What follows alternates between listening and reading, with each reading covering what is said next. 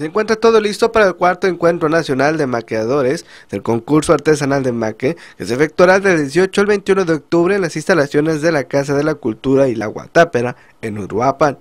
Lo anterior se dio a conocer en rueda de prensa efectuada en la sede cultural de esta ciudad, la cual fue encabezada por Rafael Paz Vega, director de la Casa de las Artesanías del Gobierno del Estado, Ramón Guzmán Ramos, secretario de Turismo y Cultura.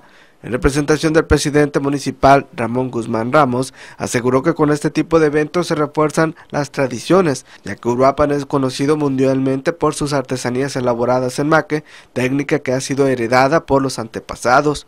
Al encuentro se espera la presencia de artesanos de los estados de Jalisco, Guerrero, Chiapas y Michoacán, entidades que también trabajan con esta técnica. Agregó que para el concurso estatal de Maque se tienen asegurada una bolsa de 90 mil pesos que serán distribuidos en 23 premios, además de tres incentivos especiales a la mejor pieza, al mérito artesanal y al diseño tradicional. Las categorías que participan serán a maestros artesanos, en la que podrán participar los artesanos que hayan obtenido algún primer lugar en concursos anteriores. Entre otras categorías, nuevos diseños busca estimular a los artesanos con creaciones. Con esta nueva categoría podrán participar los artesanos mayores de 14 años de edad en Uruapan que presentan diseños innovadores.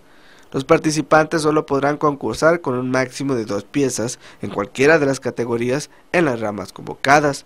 La ceremonia de inauguración será en las instalaciones de la Casa de la Cultura en punto de las 10 horas. Posteriormente se impartirá la conferencia MACE de Michoacán, un sistema sociotecnológico, por el maestro Carlos Bravo. Mientras que el sábado 18, Rafael Paz Vega ofrecerá la conferencia comercialización a través de las marcas colectivas. Para Noticieros Nuestra Visión, informó Sergio Cano.